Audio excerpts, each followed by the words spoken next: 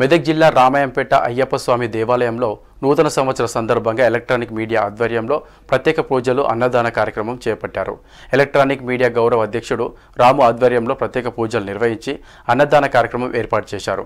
అనంతరం electronic media సంఘం అధ్యక్షులు సంపత్ కుమార్ రాచర్ల నరేందర్ మాట్లాడుతూ రాష్ట్ర ప్రజల సుఖ సంతోషాలతో ఉండాలని ఆ భగవంతుని కోరుకున్నట్లు చెప్పారు. ఈ కార్యక్రమంలో జర్నలిస్ట్ చిరంజీవి కరీ నరేందర్ అరుణ్ కుమార్ యాదవ్ కౌడిన్య గౌడ్ భైరవరెడ్డి తదితరులు పాల్గొన్నారు. గురుస్వామి రాము ఆధ్వర్యంలో ప్రత్యేక పూజలు నిర్వహించి అన్నదాన కార్యక్రమం కూడా ఏర్పాటు చేయడం జరిగింది.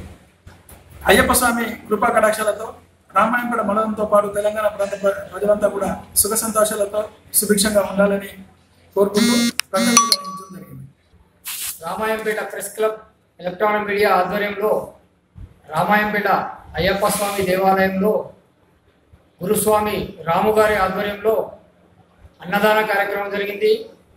ఆ అయ్యప్ప స్వామి కరుణా కటాక్షాలు అందరికీ ఉండాలని మా ఎలక్ట్రానిక్ మీడియా తరఫున మేము అందరినీ కోరుతున్నాము ప్రత్యేక పూజలు నిర్వహించారు. ఆ అయ్యప్ప కరుణా కటాక్షతో అందరూ బాగుండాలని సమాజం అంతా లోకమంతా లోక సంస్థ సుఖినోభవంతు అని కోరుతున్నాము.